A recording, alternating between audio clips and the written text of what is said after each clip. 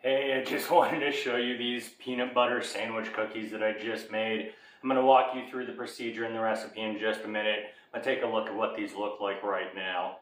I'll be back with the recipe. So for the ingredients, you're going to need one and three quarter cups flour, one cup brown sugar, half cup white sugar, third cup of white miso, quarter cup of smooth peanut butter, one stick of softened butter, half a teaspoon of baking powder, three quarters of a teaspoon of baking soda, one egg, some vanilla, and some black sesame seeds for your garnish at the very end. So I've sped up the speed of the video for the next few clips because there's not a whole lot here to do, but I want to walk you through the procedure so that you can do it as well. Now, at the very start of this, I put the brown sugar and white sugar into my stand mixer along with my softened stick of butter. I got that combining, and then I want to go ahead and get that lightening up in color.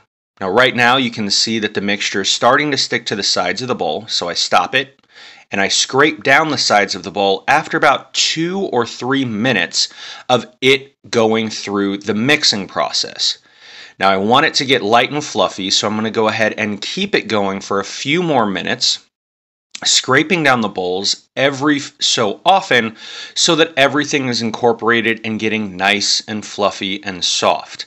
Because if you don't get this mixture soft and fluffy and have some air in it, then your cookies are going to be very dense at the very end. So you need to go through this step. So the butter and sugar mixture is starting to lighten up and it's no longer sticking to the sides of the bowl.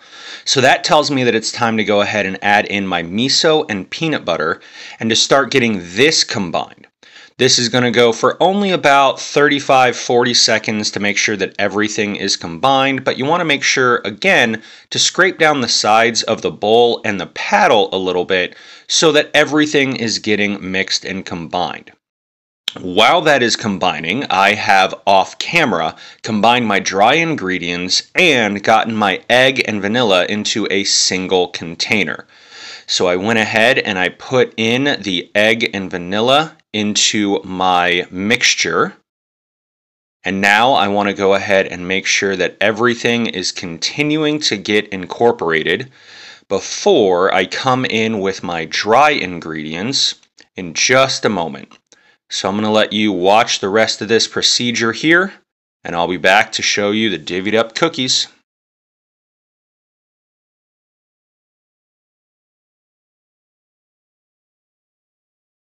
So the recipe that I showed you is going to make slightly more than 30 individual cookies. So I portioned all of them out, took five off of the tray and froze them.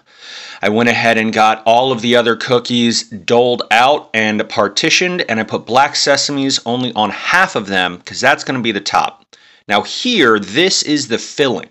You're going to need equal parts peanut butter and cream cheese and about two to three cups of powdered sugar as well as some vanilla. You put the cream cheese and peanut butter into your stand mixer with about two cups of powdered sugar.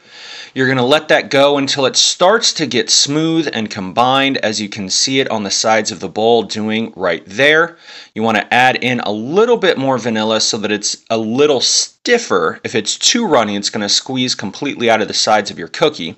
And make sure that you add in a little bit of vanilla before you finish. Now you want to go ahead and let this chill while you are baking your cookies. And then once your cookies come out of the oven like this, you're going to see that they have gotten golden brown around the edges. Let them cool in the pan for just a few minutes to set that bottom before you pull them out and put them onto a rack like so. Now, when you actually fill the cookies, you're only going to put filling on the top of the cookies without the black sesame seeds, and then put the black sesame seed cookies on top. So that was how you make my peanut butter miso sandwich cookies with a peanut butter cream cheese filling, and I cannot wait to dig into these right now because I've been working on them for so long. Mmm.